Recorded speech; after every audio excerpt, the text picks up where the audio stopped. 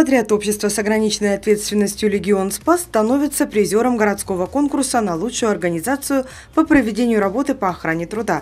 По итогам работы за 2017 год в своей подгруппе «Непроизводственные виды экономической деятельности» «Легион Спас» вновь стал одним из лучших и был награжден дипломом. Всего в конкурсе приняли участие 48 организаций, из них 10 непроизводственной сферы. Дипломом второй степени награждается общество с ограниченной ответственностью «Легион Спас». Руководитель Владимир Иннокентьевич Куроленко, специалист по охране труда Олеся Анатольевна Атаманова.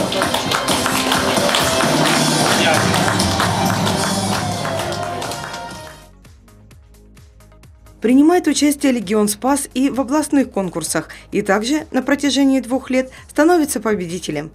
Но данная награда для нас значима, поскольку мы в Иркутской области в своем виде экономической деятельности были единственные дипломанты. Будем продолжать в том же направлении, стремиться к лучшему. Основным условием для организации индивидуальных предпринимателей, пожелавших принять участие в областном конкурсе, являлось отсутствие в течение прошедшего календарного года несчастных случаев на производстве со смертельным или тяжелым исходом, либо групповых несчастных случаев. Критериев же для выявления лучшей организации были десятки – это аварийность на опасных производственных объектах, обеспеченность сертифицированной специальной одеждой, обувью и другими средствами индивидуальной защиты, уровень заболеваемости, обеспеченность оснащенными санитарно-бытовыми помещениями и множество других показателей работы по охране труда. Ну, оценивалась по многим показателям.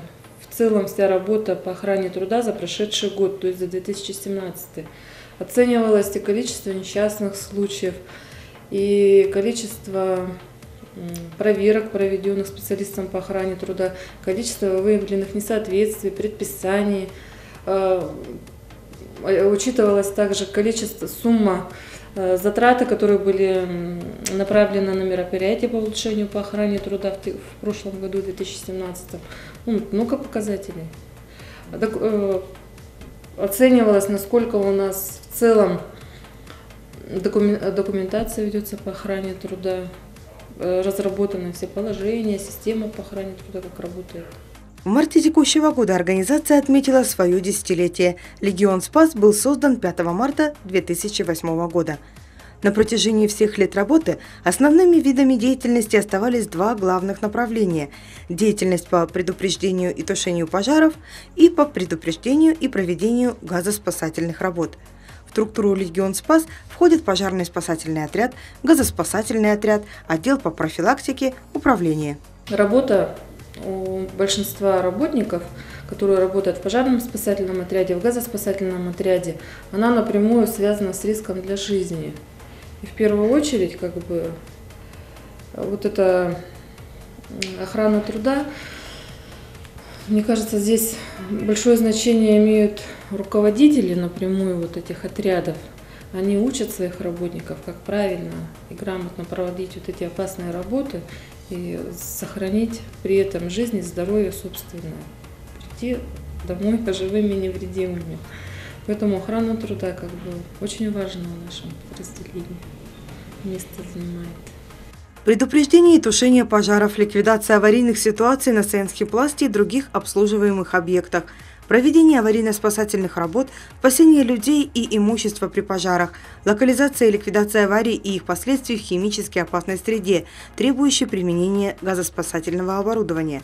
Конечно же, деятельность сотрудников Легион Спаса, коих трудится в настоящий момент 113 человек, безопасной не назовешь.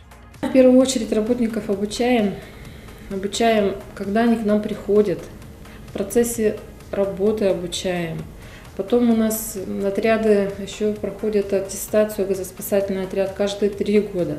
Пожарный отряд получал лицензию, и тоже проходили мы проверку. Периодическое обучение они проходят каждый год по охране труда. Потом еще аттестацию на статус спасателя проходят. Постоянно учатся. А потом полностью проводим и психиатрические свидетельствования, медосмотры, периодические, предрейсовые, послерейсовые. Обеспечиваем наших работников спецодеждой, с другими средствами индивидуальной, индивидуальной защиты. У нас же очень как бы как специфическое да, направление, поэтому очень важно, чтобы А, Работники наши были обеспечены средствами защиты от и до. Это изолирующие костюмы для защиты полностью тела от воздействия вредных и опасных химических веществ, и аппараты дыхательные для дыхания, как бы непригодные для дыхания в среде, фильтрующие противогазы, каски. Для защиты работников от повышенных температур, это боевая одежда пожарного, там средства защиты рук, ног, полностью как бы теплоотражательные костюмы. Очень много средств у нас уходит на спецодежду и другие средства индивидуальной защиты. Это вот основная, как бы, наверное, наша такая большая статья расходов по охране труда. Помимо этого, руководство осуществляет обязательное социальное страхование работников в соответствии с действующим законодательством от несчастных случаев на производстве и профессиональных заболеваний. Приоритет сохранения жизни и здоровья работников в процессе деятельности трудовой и ответственность работников за соблюдение требований охраны труда персональное и постоянное обучение по охране труда. Мы гордимся тем, что вот мы работаем Легион Спас с 2008 года, мы как организовались, у нас ни одного несчастного случая, ни одной травмы не зарегистрировано, не было и думаю, что не будет в будущем.